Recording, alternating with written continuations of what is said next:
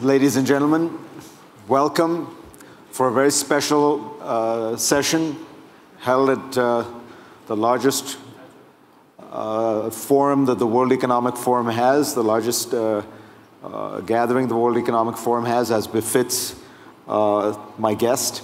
I just want to begin with a few ground rules before, before I start the, the formal session. To just remind people, this is being taped for my CNN program. So it is all the more imperative that you turn off your phones, devices of every kind, uh, so that uh, we're able to have this session uh, taped and so that millions of other people can enjoy what you are going to, uh, what you are going to enjoy, which is a very extraordinary opportunity to talk to the Prime Minister of Israel. Um, Henry Kissinger says those who don't need introductions crave them the most. I am going to assume that there is an exception here, uh, and that Prime Minister Netanyahu, who has dominated the Israeli political stage, the world stage uh, at many moments, uh, does not need an introduction, uh, and we will get uh, right to it. Mr. Prime Minister, welcome. Thank you so much for coming. Thank you. I'm going to introduce you later. um, Mr. Prime Minister, uh, the International uh, Atomic Energy Agency now says that Iran has destroyed 98% of its uh, enriched uranium, that its plutonium pathway, the Arak facility, has been rendered inoperable, uh, that it has done more than most people imagined, and more importantly, that the setbacks to its program the discontinuation of the vast majority of its uh, centrifuges to enrich uranium, that these setbacks are much more substantial than most military experts believed would have been possible by airstrikes, by military strikes. Shouldn't you be happy in celebrating this? Well, we always wanted this result, but we wanted something else.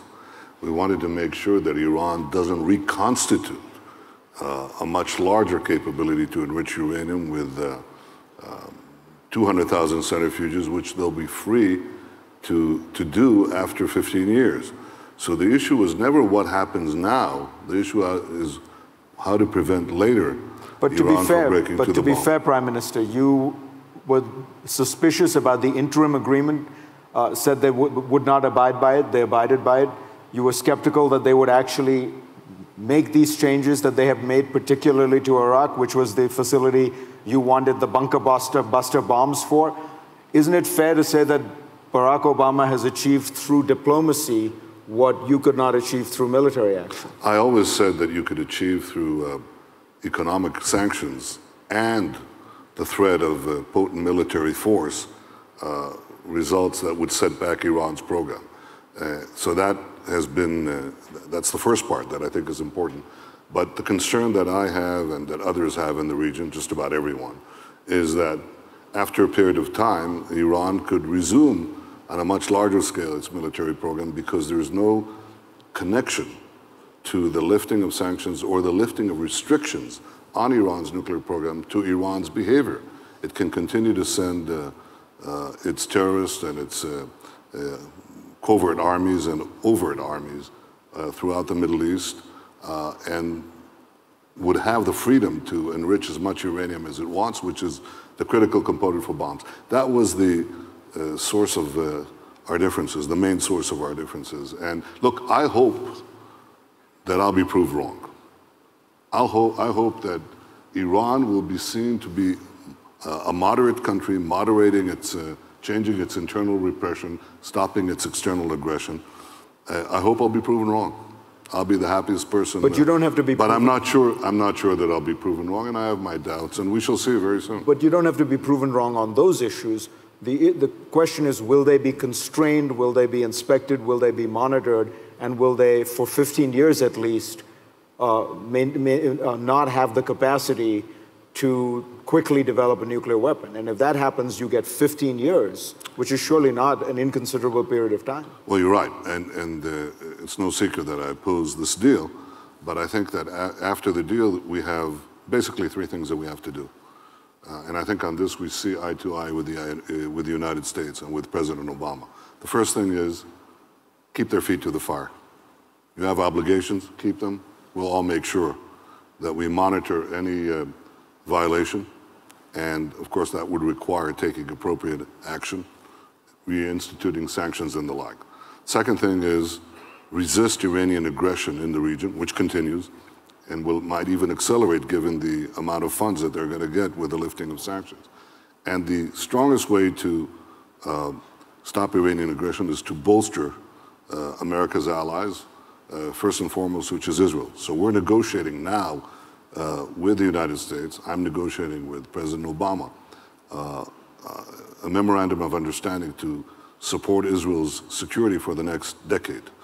The third thing that I think has to be done is beyond the region to begin to dismantle the global terror network that Iran and through its henchman Hezbollah is establishing in the Eastern Hemisphere and in the Western Hemisphere.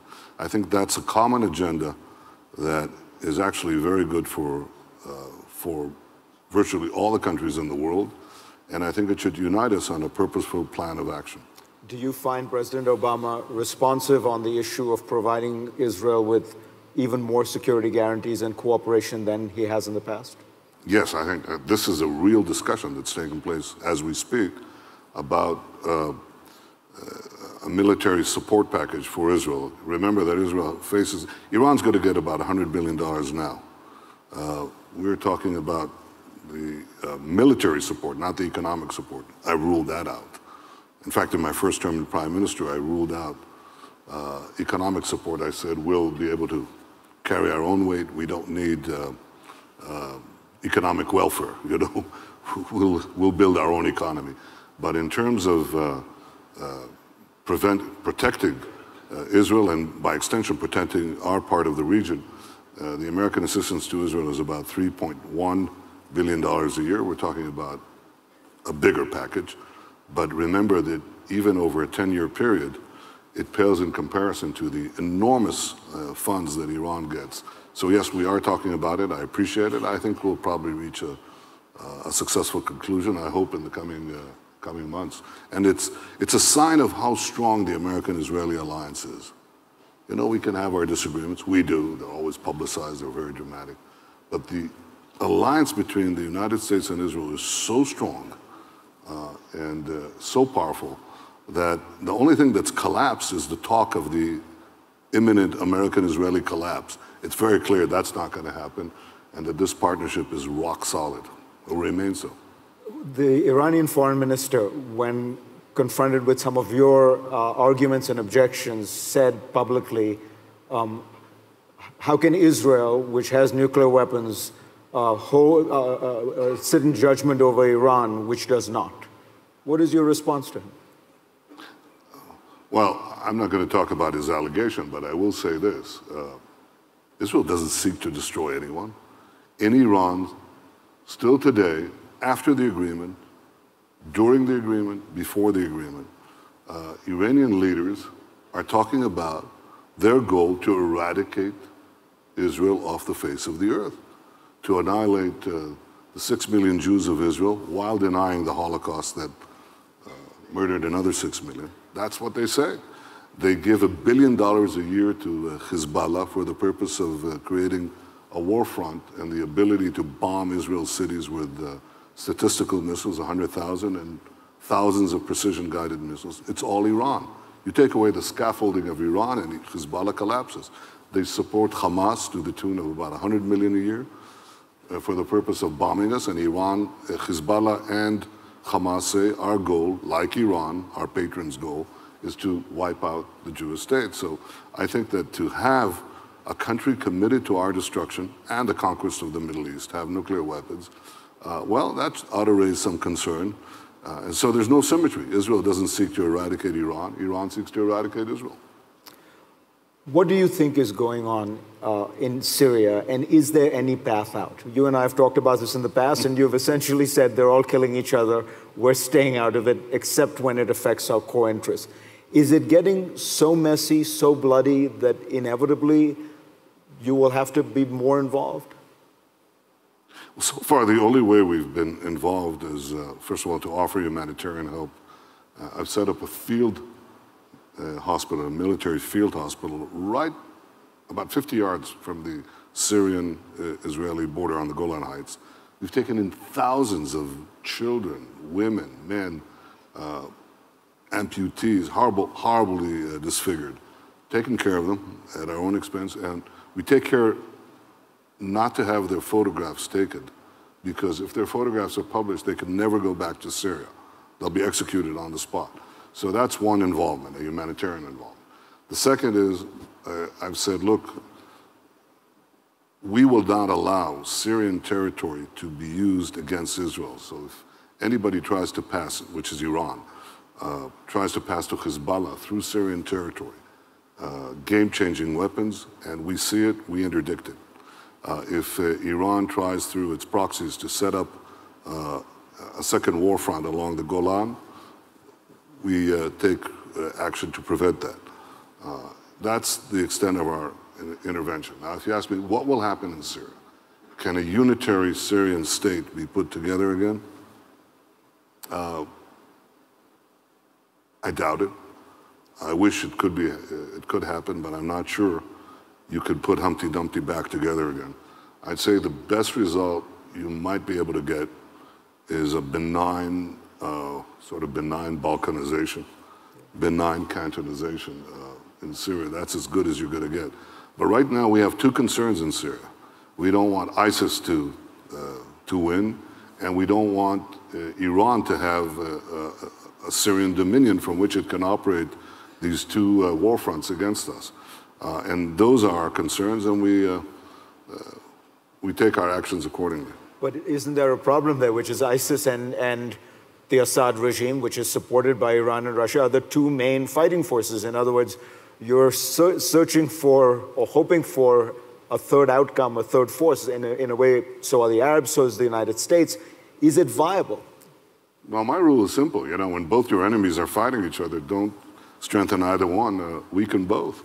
Uh, and that's more or less what uh, we try to do. I think, I think ISIS, and there's a difference between ISIS and, uh, and Iran. There are two sides of the militant Islamic coin. Uh, there's a difference. Uh, ISIS wants the uh, caliphate now, here and now. That, that's the power of ISIS, the idea of here and now. So we'll uh, redeem history, if you call it that, I mean, a really sick redemption.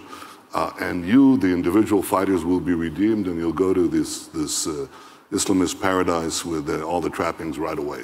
That's how they get all these people to come to fight for it. Iran says, not caliphate now, but imamate later. The hidden imam will come back uh, later, and first we have to establish step by step our power. But both of them want to dominate first the Middle East and from there well beyond. Um, I think that uh, uh, the first order of the day is to defeat ISIS. I don't think it's an un, uh, I think it's a doable thing. I think ISIS can be defeated. Uh, ISIS is an idea plus territory plus oil. Uh, it is possible to knock out the oil, which takes away half their revenues. It is possible to get at the nerve centers of their ideas, which are concentrated basically in two places. It's in Raqqa and it's in Mosul. Uh, it doesn't require taking care of all of uh, uh Syria and Iraq. And we have these discussions with uh, uh, the United States and with others about this task. But to the extent that people ask our view, that's our view. Why do you think, uh, as far as I can tell, there have not been many or hardly any Palestinians mm. who have been seduced by ISIS? Well, there, there are probably more Swedes in ISIS than uh, uh, Israeli Arabs, and that's good. Uh, but nevertheless, uh, um, it's a concern that we all have. I mean, the Daeshization of the Islamic world is a great danger, first of all, to the Islamic world and then to everyone else. Uh, in Israel, I think Israeli Arabs, I think, are part of our society. We have a lot of things that we need to do. My government just put in billions of dollars worth of programs now to integrate more, um, uh, more of our citizens, our Arab citizens, into our society, especially to the economy, which I think is important. Uh, the Palestinians themselves uh, are split. Half of their society is controlled by militant Islam uh, under the Iranian sway, and there, there is Daesh in Gaza. And the other half, uh, I think we've been careful to enable the economy to continue, even as we have this wave of stabbings, because we don't want to, uh, the, the overall population to uh, fall into that trap. Uh, but I think this is going to be a constant challenge. I think we have to, I think we have to fight ISIS both as an idea, but we also have to fight ISIS as a state. The greatest danger to the peace of the world comes from the two Islamic states, the Islamic State of ISIS and the Islamic State of Iran. Uh, those are the two principal uh, disruptors of the international order, stitched in between East and West, and now spreading East, West, North, South. Uh, and I think that we'll have to deal with them separately and in different ways. ISIS is defeatable in the short order if there is will um, and system and strategy. How do you defeat the idea? How do you, if you, if, if a Muslim leader were to come to you and say, look, 95% of my society is moderate, mainstream, nonviolent, but I do have these pockets of extremism. Mm. What do you think is the answer to purging these Muslim societies of this of this extremism, even if it affects only a small minority? You want my uh, yeah in a, in a word? I think the key is despair. It's to rob them of hope, the hope that their wild fantasies will actually win out the day.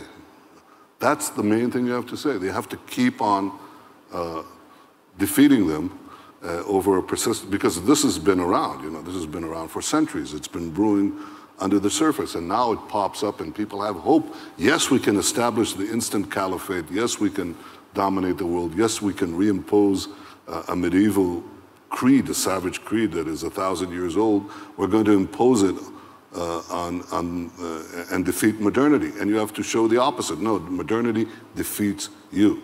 Uh, I, I, really think this is the issue. And you say, well, can you actually uh, root out the idea? Uh, I fall back on a conversation I had with my father. My father was a, a great historian of the Jewish people. Um, and, uh, but he was my father.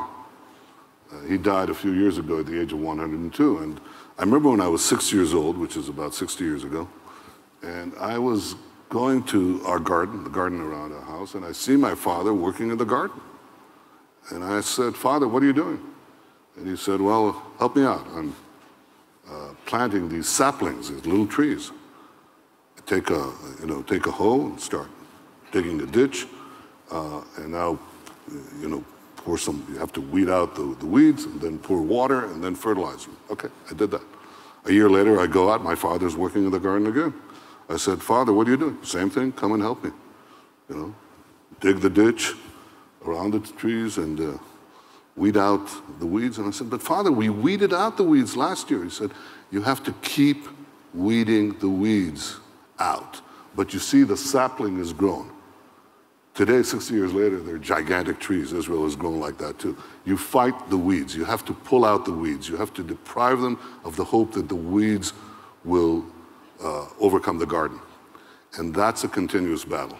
I don't know, and I cannot tell you that there's a formula for the victory, uh, uh, how to weed out medievalism uh, in modern times. Science, education, all of that should be working for us. And maybe the information technology that we discuss here will be a, a major tool for that because you have to uh, give people choice, give people the freedom to, to see other possibilities and not to cloister young minds, uh, you know, with this uh, extraordinary uh, and savage dogmas.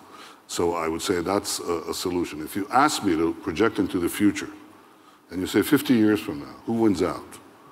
Uh, modernity or medievalism? I would say modernity wins out because ultimately people would prefer uh, the, the, the, benefits of, uh, of freedom, choice, and pluralism.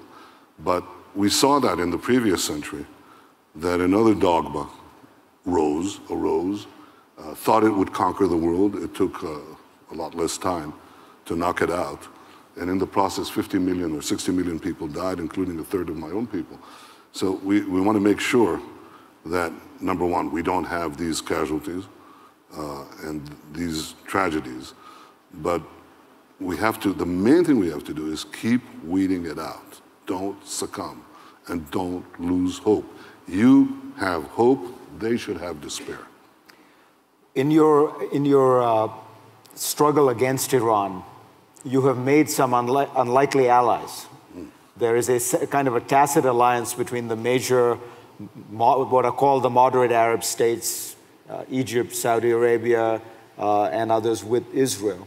Is that an awkward situation to be in, given that Saudi Arabia is an Islamic state? It practices many of the, the, uh, the forms of Islam that people regard as highly puritanical, quasi-medieval, even medieval. They chop people's heads off, they chop hands off, they have law, laws about blasphemy and apostasy.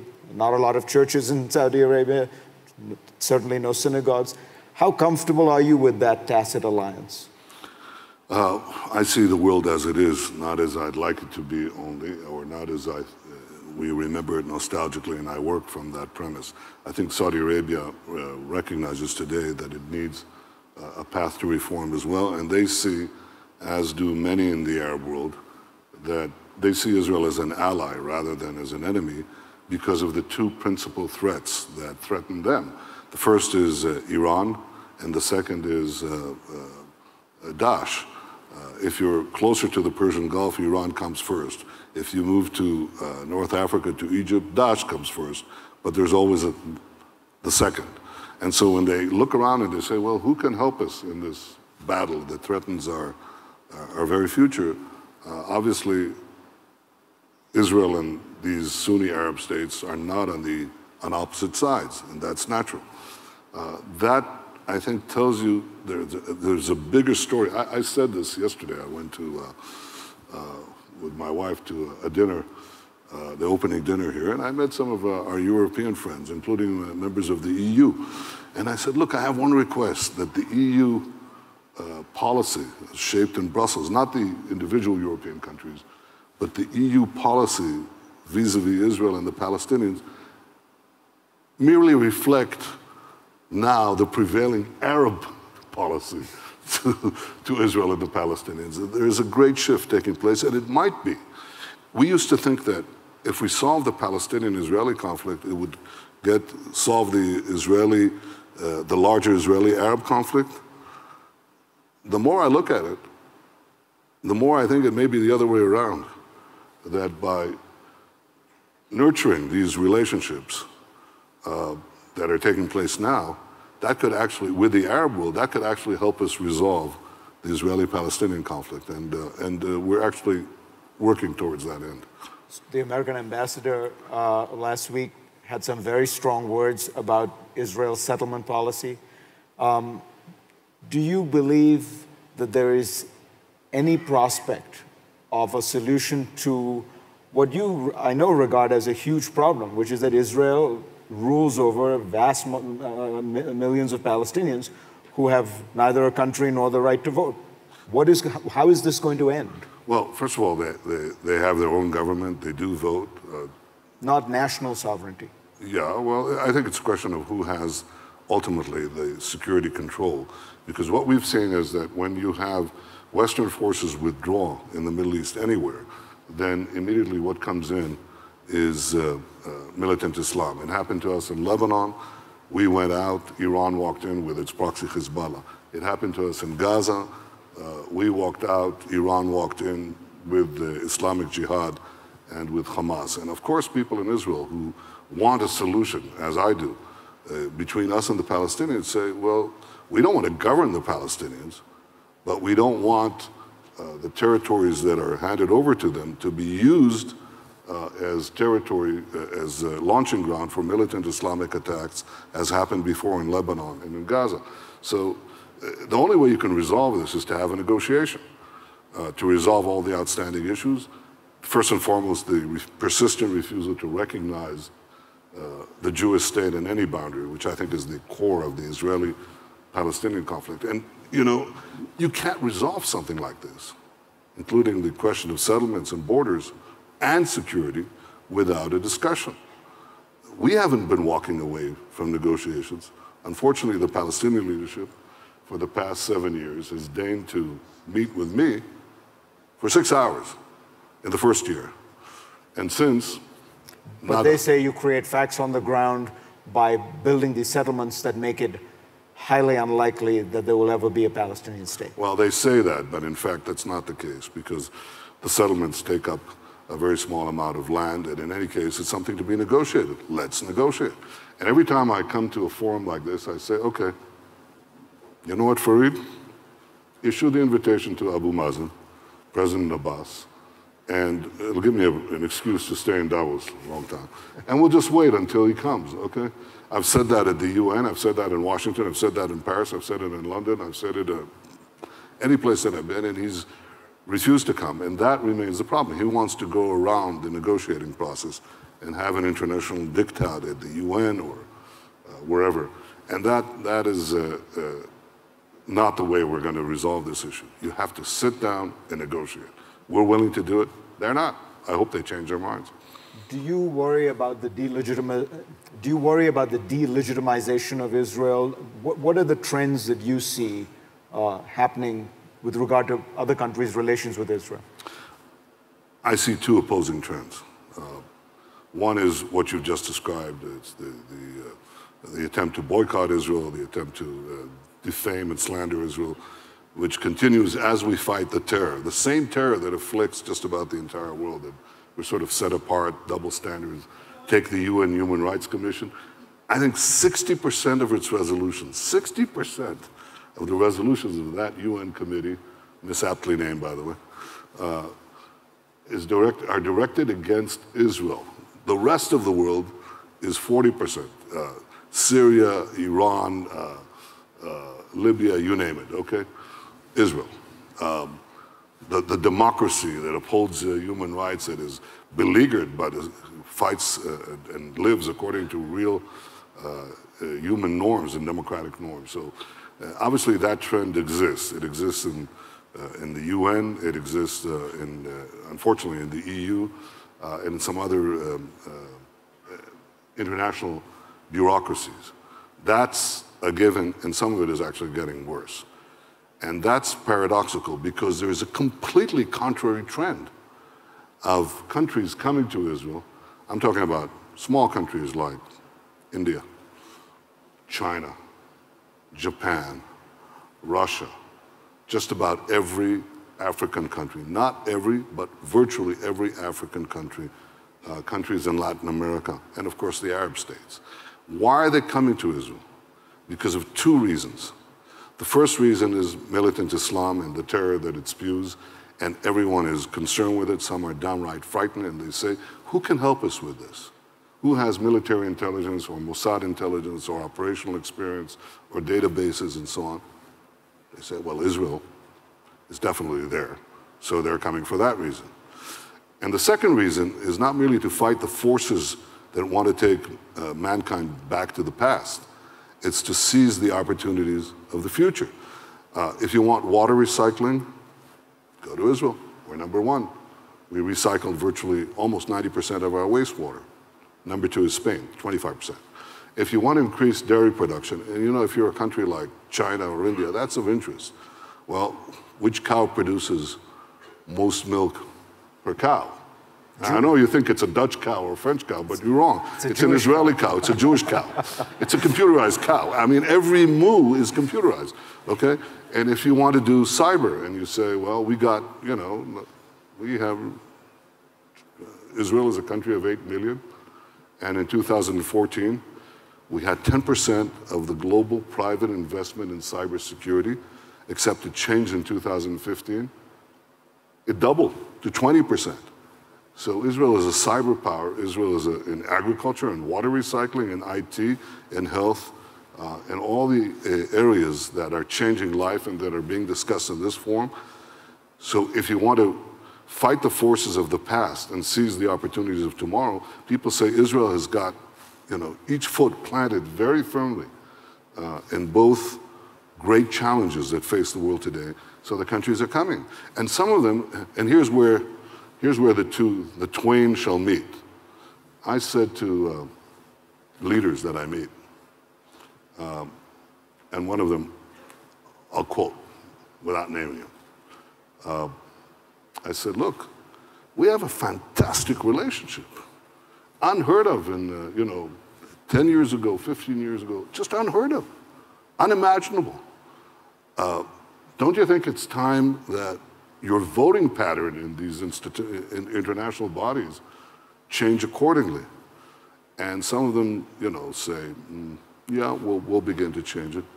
Uh, but this particular leader just said, yes, and he just changed it on the spot.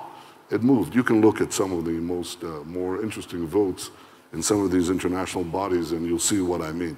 So I think eventually the uh, the ganging up on Israel in international bodies is going to change as the interest of countries that compose those bodies uh, become reflected in the way that they vote internationally.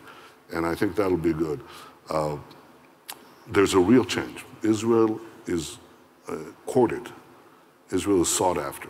Israel, the last thing is, is one other great leader from uh, one of the big business organizations said to me, boycott Israel? How can I boycott Israel? He has a, a very big uh, R&D operation in Israel. He said, if I boycott Israel, I'll boycott myself.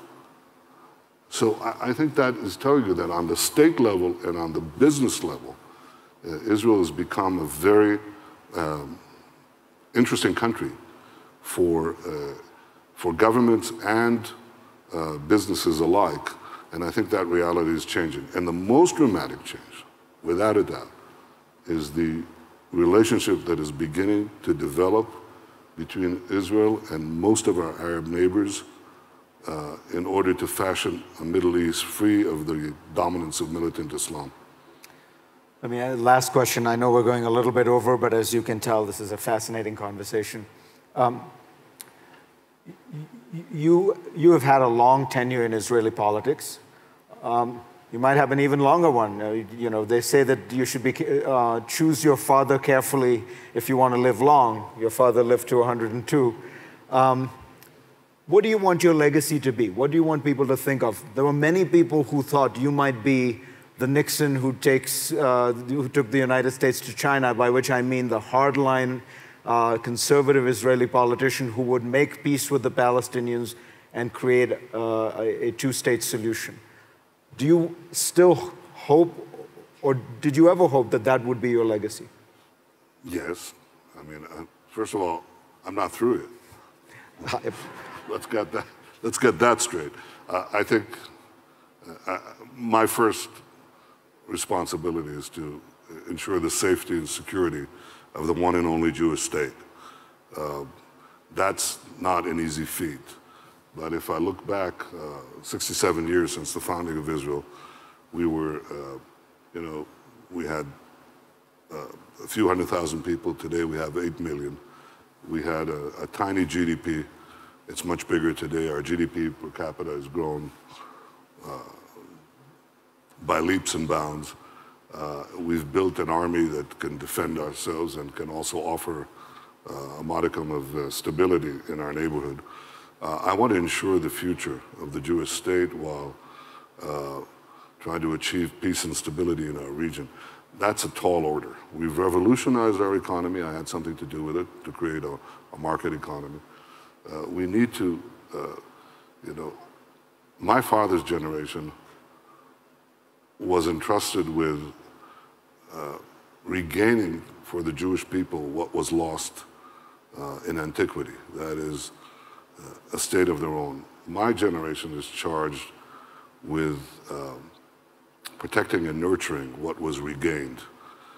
And in so doing, I think we can also change the world. The things that we're doing in Israel are changing the world. You know, they're changing it in medicine, they're changing it in uh, communications, they're changing it in uh, uh, in cyber. They're changing it just in so many things that can benefit our neighbors and, and the rest of uh, humanity. Uh, to do all that, I have to make sure that the future of the Jewish state is safe and sound. That's my one goal. And I would like to be remembered as the protector of Israel. That's enough for me. Protector of Israel. Mr. Prime Minister, pleasure to have you on. Thank you.